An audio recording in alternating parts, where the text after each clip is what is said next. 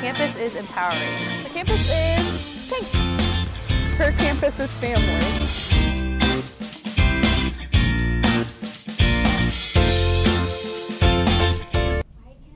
Hi guys, I'm Jayla Scruggs and welcome back to Her Campus TV.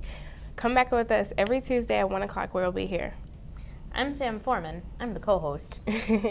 guys, so what's going on in Lawrence this week? Oh man. Okay.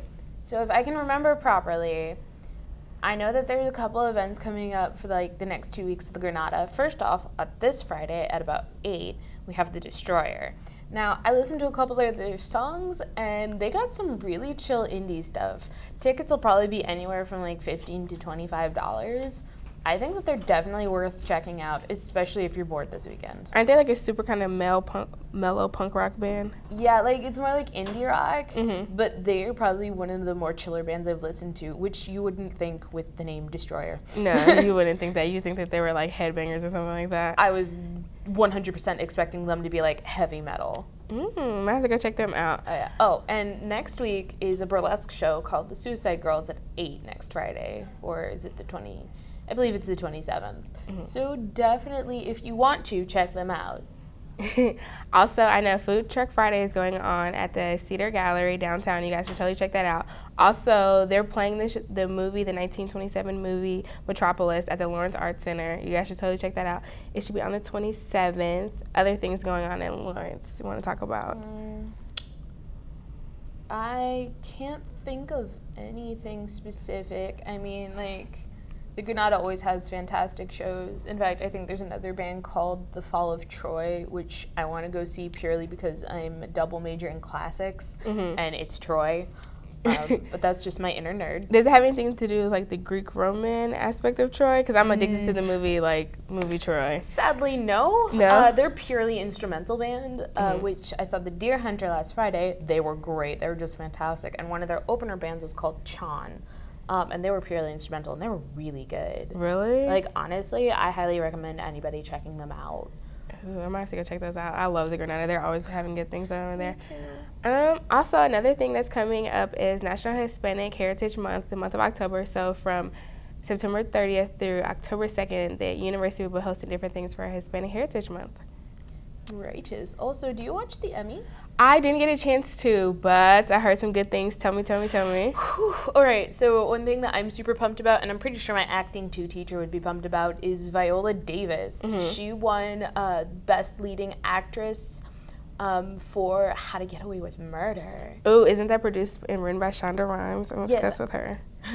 I've heard a bit about Shonda Rhimes, but you, I think, know Yes, more. Yes, she so- does Scandal, Grey's Anatomy, How to Get Away with Murder, and then some other like dilly dallies that she puts her works in. But I'm addicted to Scandal. Like it's so good in Grey's Anatomy. Like McDermott, McSteamy. I mean, they're all gone, but they're still pretty good people. Like how can you not love them? Dilly dallies. Cute word. But Uh. like, I'm so pumped for Viola Davis because like, um, she was in a show with Denzel Washington called Fences, Mm-hmm. and um, I watched a segment of that, and she gives a really powerful monologue about how she supported the main character, and oh god, it broke it broke my heart. Have you also seen the Help she's in? Like love the Help, cry in the Help. Like Help is like life. And then she, her and Jayla also have a new movie coming out. Ooh, what is it? No idea. It's their names as the title. I'm not 100% sure, but it's it's part. It's supposed to be pretty good. Like I saw the clips for it. It looks really good. Honestly, I'm gonna have to check that out. You should. Viola Davis is a queen, so She's amazing. Also, guys, don't forget to come out on Wednesday to our volleyball game. K State will be playing us here in Lawrence at 6 p.m. on Wednesday, and then soccer on Saturday. We play South Dakota, and then Kim will be back with you guys for news. Thanks. Where you go to college makes a statement about you. This place will become a part of you, your identity for life.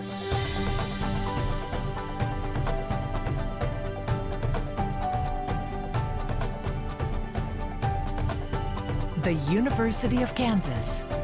A great place to be you. Welcome back. This is Kim.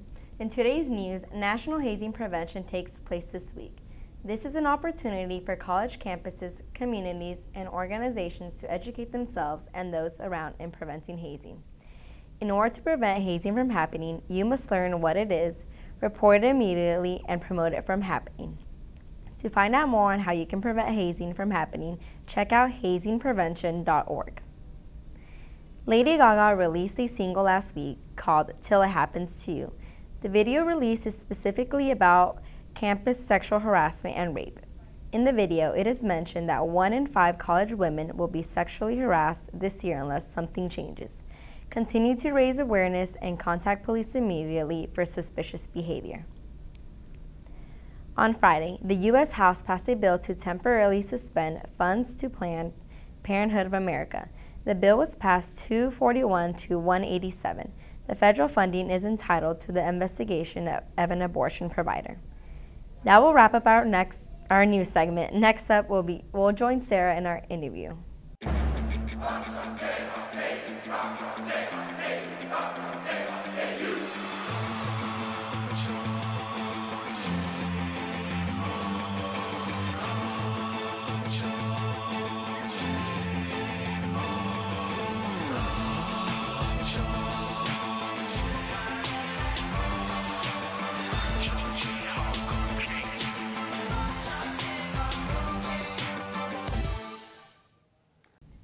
Welcome back. This is Campus Celebrity with Sarah Lee, and today our guest is Margarita Nuñez, who is a junior and the vice president of the Hispanic American um, Leadership Organization.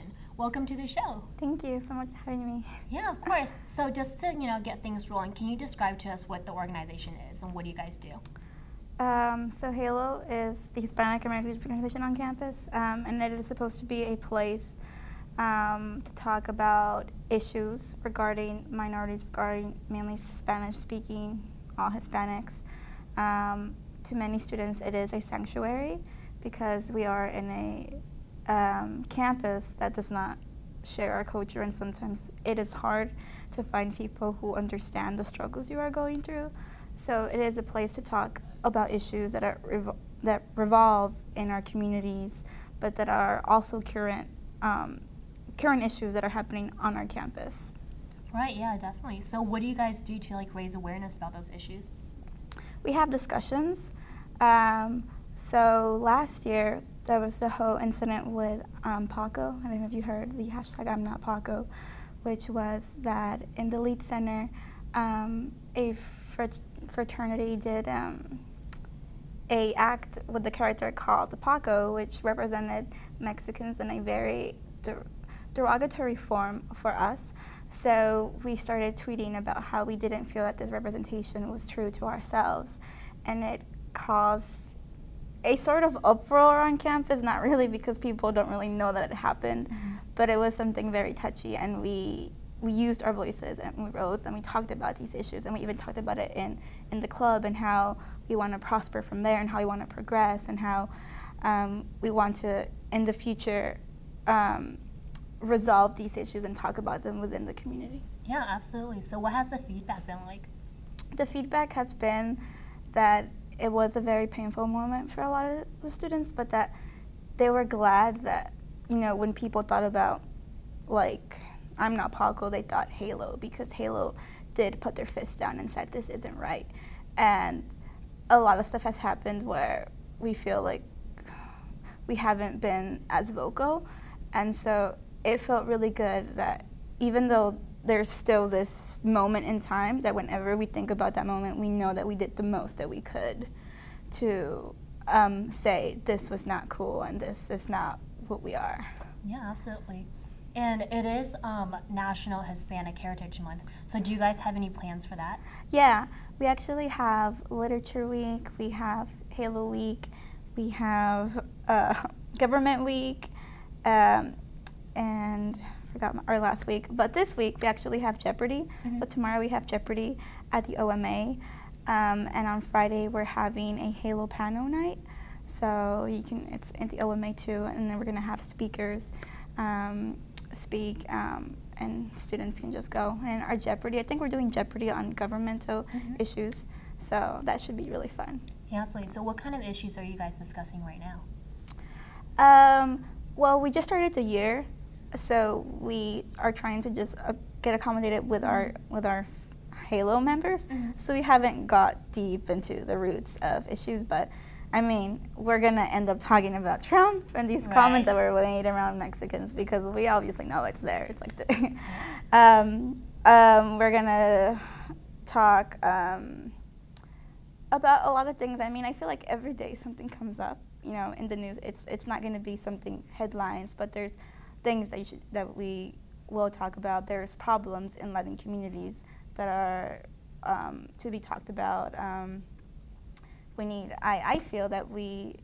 Um, I want to start um, a program that helps um, flourish Latina women to go to college.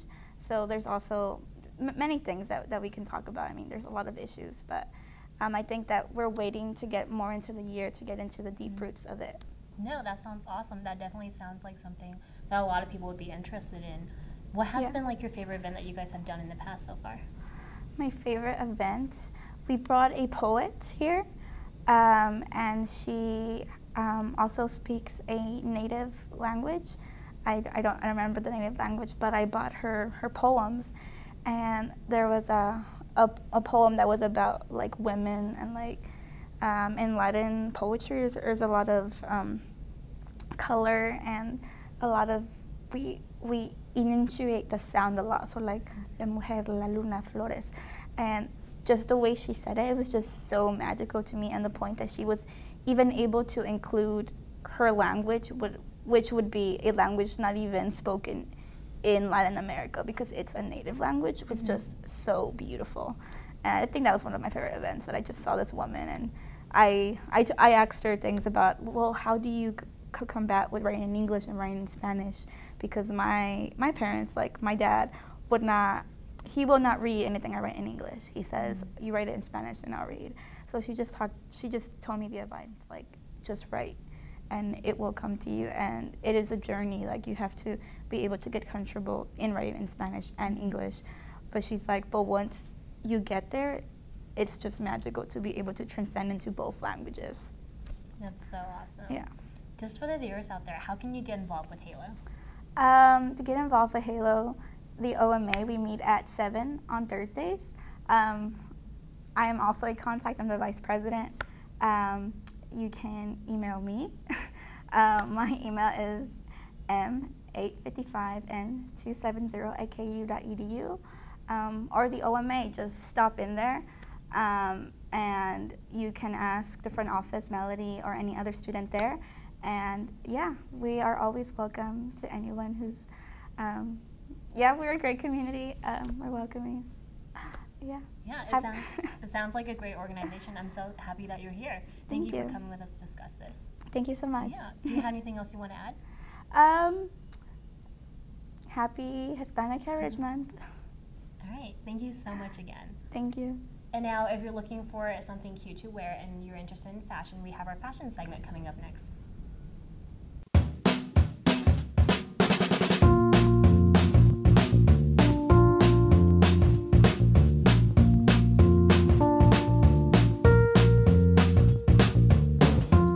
When you shop local in the heart of the city, you support the people that make our community thrive.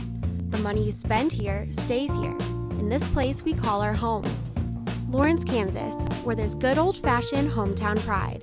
Eat local, drink local, shop local.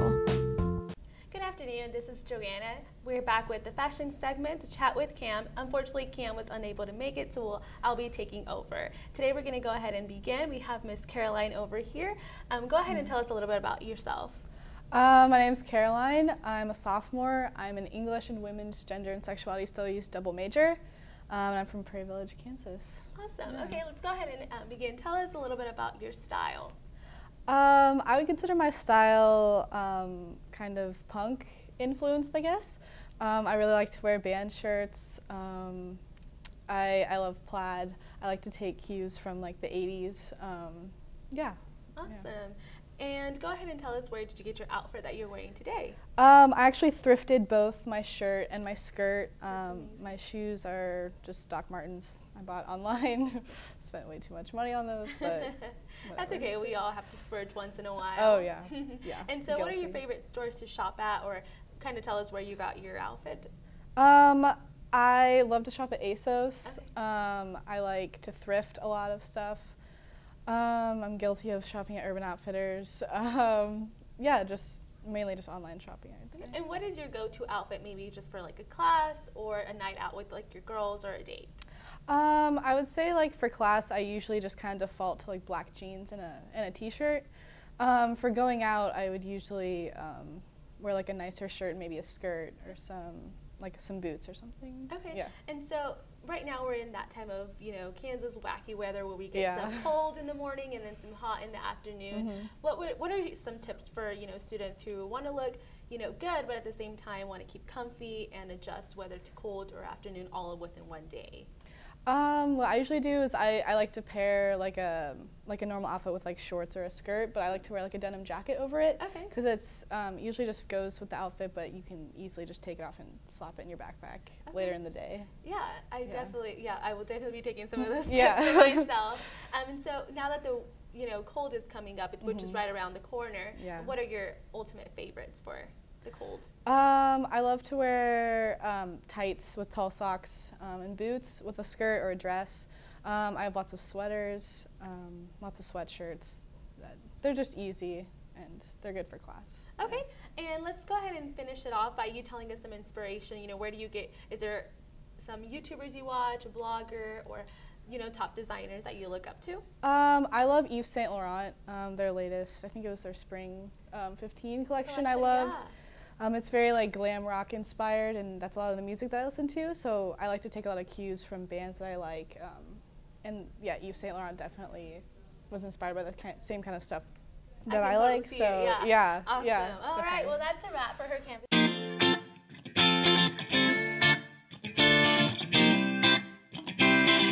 Campus is empowering. The campus is Her campus is family.